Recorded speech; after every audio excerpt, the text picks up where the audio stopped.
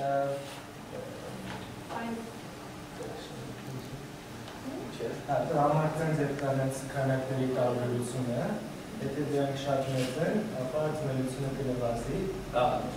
is a uh, connection between mass and humor,